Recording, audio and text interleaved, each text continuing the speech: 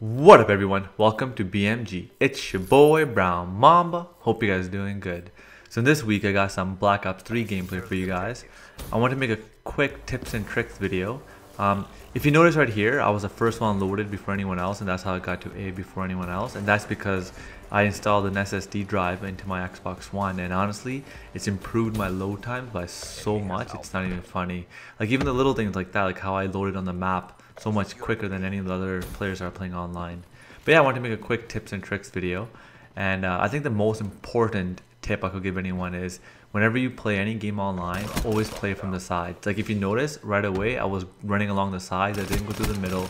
I went to the sides and I cleaned up. Like you can see right here, the first few kills, I think I killed everyone on this team. And, and all I did was just run to the side. Like look, I just destroyed this whole team basically by myself and uh, yeah it, it, works every time. Like if you as long as you play from the sides and work yourself either behind them or to the side of them and watch them run to the middle like I just did it works. Another good tip is always capture the flags. Don't be that guy that just runs away from the flags doesn't even bother capturing them because you know what kills matter and a lot of people love kills and that's good but you want to win the game as well and you want to help your team win the game too so if you get the chance like I just did there, just capture A or capture whatever one is empty, right? And it helps you because look, like it brings me closer to my score streaks. Another thing I do want to mention, these score streaks I use in this game aren't the ones that I would normally lose, uh, use, sorry, um, uh, because I just haven't unlocked the ones that I would normally use because I, I prestiged and so I gotta wait now until I unlock all the ones I want to use. But the Talon is one of the ones I'll use and RAPS I'll, I'll definitely use as well. I actually get RAPS in this game too. But yeah, like I said, I play on I play from the sides. I'll, I'll work my way to the sides to the back of their spawn, and then and then sometimes I'll go through the middle, or I'll keep circling the whole map until I see people running around. See right here, I just went right through the middle um, because I went all the way behind them and I knew they were capturing B, so it made sense for me to you know go down the middle at that time.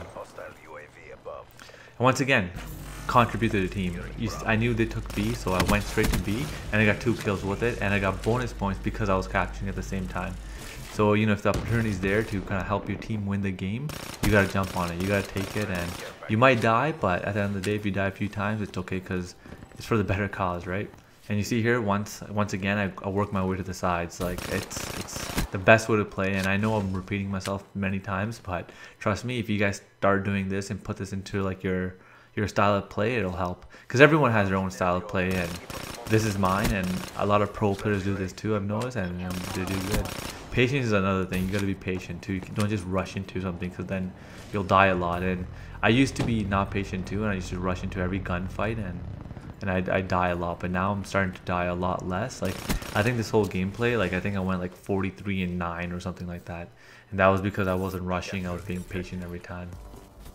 Another good tip is to always use your score streaks right away. Even like right now, like the second half just started, and I'm already trying to get my score streaks that I've unlocked from from the last uh, from the first half, I guess. Um, yeah, like right away, like I noticed they were taking B, and boom, I, I got like you know two or three kills from from the Hellstorm. I never use a Hellstorm. I'm not a big fan of the Hellstorm. I'd rather use the Wraith or maybe the G1 unit, but since that's all I have in lock, that's what I did. And see, once again, like I was, I started from the sides and I got two kills right away, and I got my RAPS now too, so that should help a lot.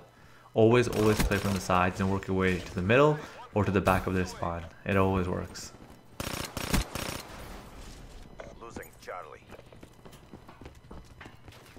And if you noticed here, like I heard the guy saying they're taking C, so you got to be aware of, you know, what the opponents are doing. So they just took C, so obviously I'm going to go from the sides and run towards them.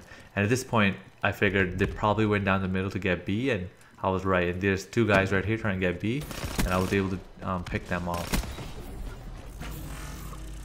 See, once again, even that, that girl was trying to get B too, and I was able to pick, pick her or him off. See right here, I try to go through the middle, and I died.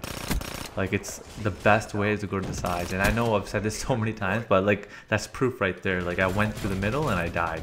Like it's so much better just to work your way from the sides and only go to the middle if you know that they're going to the middle. Like if you saw like a couple of kills ago, um, I got I went to C and it was too late because they already captured C and they obviously went to go get B and that's when I went down the middle and I was able to get two or three extra kills like that.